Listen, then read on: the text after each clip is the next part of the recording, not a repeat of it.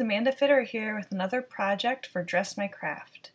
I'm going to show you how I created this 12 by 12 shadow box frame scrapbook layout.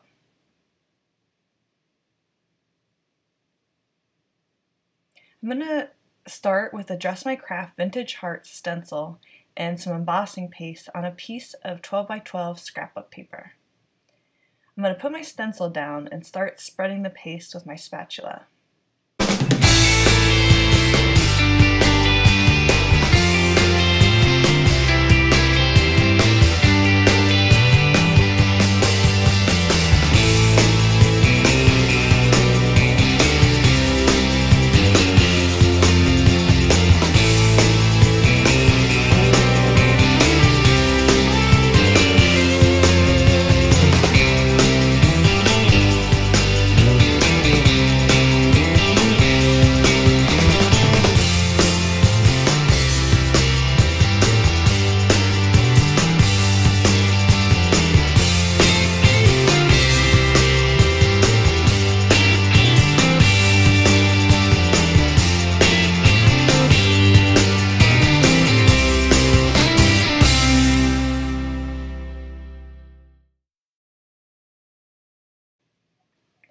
The next thing I'm going to do is I'm just going to mix some um, pink watercolor paint with some white distress ink.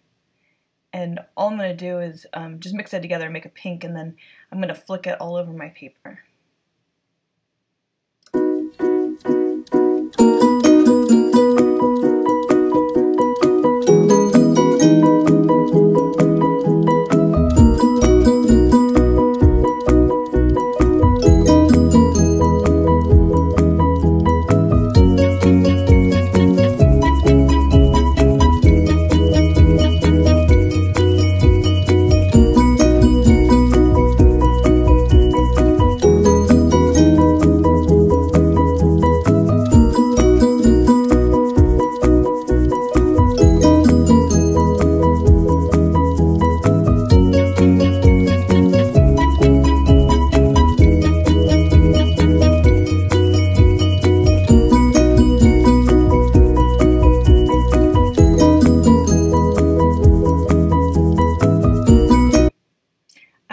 Dry overnight and now I'm getting my Romantic Roses 6x6 paper pad out and I just cut out a few pieces that I'm going to put behind my photo.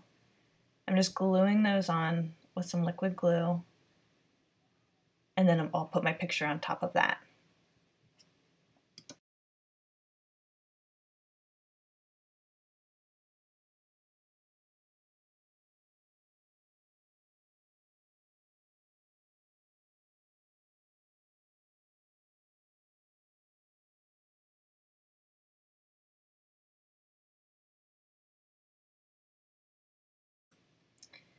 So off camera, I cut out all these flowers using the five petal flower set, and I cut them out of the Romantic Roses paper pad. And I'm just going to show you, all I do is just bend them by hand. I bend the petals in, and then I bend the petals into themselves, just using my fingers. And then I also cut all these um, foliage and leaves dies, um, and I will put links to all of these dies below but I cut them out of the Romantic Roses paper pad set as well.